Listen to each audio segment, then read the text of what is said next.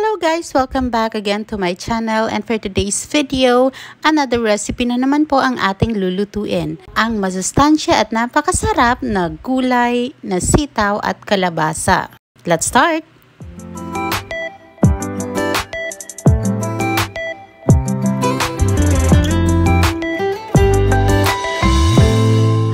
Habang ipiniprepare ko itong kalabasa, squash, or pumpkin, ay magbibigay ako ng trivia about sa kalabasa. So, alam niyo po ba na ang kalabasa ay isang prutas? Katulad ng melon o pakwan which grows in the ground at galing din sa bulaklak at may mga buto sa loob. Madalas napapagkamalan itong gulay dahil inahalo ito sa mga ulam na niluluto. Mayaman ang kalabasa sa vitamin C at beta-carotene carotene na pampalinaw ng mata at pampatibay ng buto.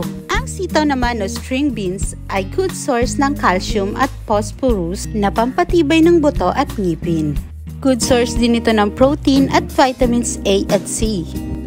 Kaya naman ang combination ng gulay na sitaw at kalabasa ay napakainam, bukod pa dito ay napakasarap din. Isunod din nating i-prepare ang iba pa nating mga ingredients.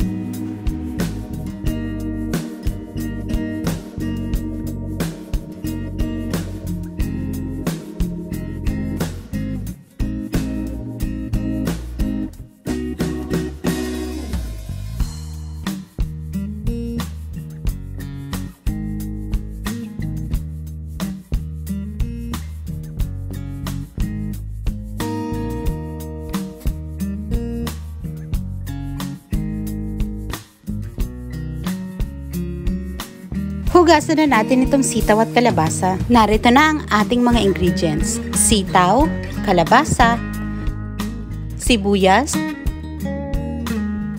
bawang, dried na alamang, at syempre ang gata. Para naman ma-avoid na ma-overcooked ang ating mga gulay, binoil ko yung kalabasa ng hiwalay. 5 to 7 minutes or hanggang sa maluto siya. Ganon din ang sitaw, 5 to 7 minutes. Okay ito para sa mga binibentang food para maganda yung presentation. Start na tayo magluto, maglagay ng mantika at igisa ang bawang at ang sibuyas. At ilagay na natin itong gata. Kaunting trivia lamang po dahil ako ay taga Bicol. Sa Bicol po, ang pagluluto nito ay diretso na Ibig sabihin, walang ginigisa. Sama-sama na siya sa kawali. Then, i-add na natin tong dried na alamang. Sa Bicol, merong balaw. Then, mag-add tayo ng seasoning. At saka asin. Depende po sa panlasa nyo.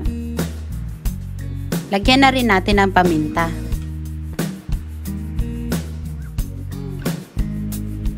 Haluin lang natin at pakuluin.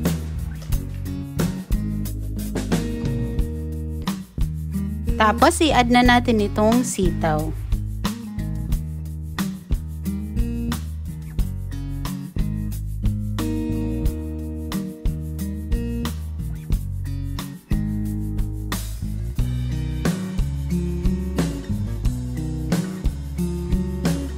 I-add na rin natin tong kalabasa.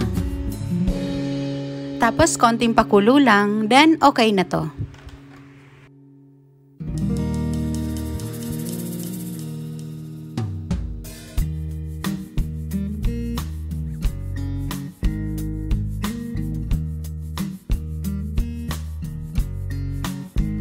Then nilipat ko na to sa mangkok dahil konti lang naman ito. Ay, naku, nahulog pa yung isang paborito ko pa naman ng kalabasa.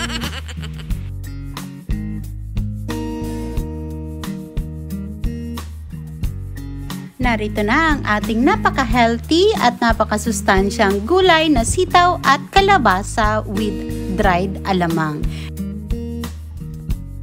You can also try this recipe and if you like the video, please hit the like button and you can also share your thoughts on the comment section below. At kung hindi ka pa nakasubscribe sa aking channel, please click the subscribe button, yung kulay red, and paki-bell all na rin po para lagi kayong updated sa mga bago kong videos na i-upload. Thanks for watching. Until next video. Bye!